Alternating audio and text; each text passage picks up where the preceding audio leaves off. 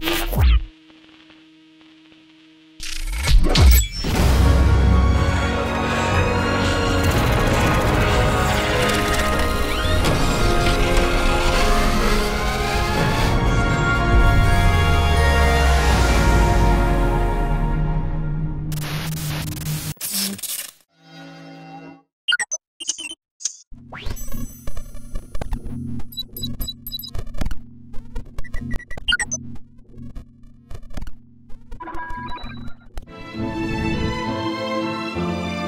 Смятаният за първи български автор на патенти и изобретател Николай Тошкович е роден най-вероятно в Одеса през 1830 или 1831 година в семейството на видния калоферец Стефан Тошкович от известния български търговски род Тошкови.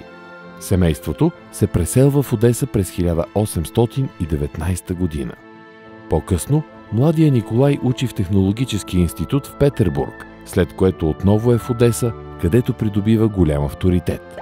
Помага много българи да учат в тамошните училища. От 1855 година Николай Тошкович е член на Селскостопанското дружество в Южна Русия. През 1855 година Тошкович заминава за Париж, където започва обучение в заводите на известната френска компания Жан-Франсуа Кай и Сие. Един от най-големите производители на парни локомотиви, селскостопански машини и други, за да изучава, както по-късно в Цариградски вестник ще напише Сава Филатеров, художеството как се правят машините, които действат с пара, а особено уния машини, по железните пътища. Именно Париж е мястото на най-плодотворна творческа дейност за Николай Тошкович. Скоро след пристигането си, Тошкович представя пред Дружеството за подкрепа на промишлеността и Комитета за механични изкуства усъвършенствано парно бутало, което е посрещнато с особено внимание. Малко по-късно той получава патент за това свое изобретение, като интересното е, че патентът има съпритежател – френския механик Франсуа Жерар, но в получения на 17 януари 1857 г. документ за патента с номер 30585 приносът на българи на Николай Тошкович е несравнимо по-голям, защото името му стои на първо място. От описанията на патента на Тошкович се разбира, че изобретателят замисля парно бутало, което да реши един от големите проблеми на тогавашните парни машини – парният цилиндър.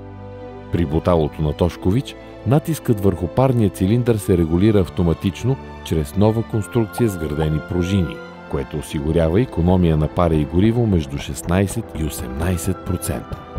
На 4 март 1857 година Тошкович официално защитава своето изобретение пред Дружеството за поощряване на промишлеността. Второто изобретение на българина идва две години по-късно. Става дума за корабна част, гребно витло с двойно действие от нов вид, което има непозната до тогава ефективност. Както е описано в патента, разработената от Тошкович конструкция е много по-економична и с нея получавате печалба за хода на кораба и за горивото, която общо е поне 25%. Това е сериозна стъпка напред в сравнение с познатите до тогава витла. За него на 12 март 1859 г. Тошкович получава на свое име френски патент номер 40180. Изобретателят разработва и чертеж, показващ принципа и някои от параметрите на съоръжението. Нещо повече, той създава и опитно устройство, на което корабен модел се движи както с тогавашното, така и с неговото ново витло. И на практика доказва предимствата на изобретението си. Тошкович остава в историята и с един от най-ранните научно-теоретични трудове, писани от българи. Той е стигнал до нас в своя ръкопис и по всичко личи, че за съжаление така и не е бил официално отпечатан. Ръкописът е завършен през май 1860 г. в Париж и е озаглавен «Практически бележки за параходите».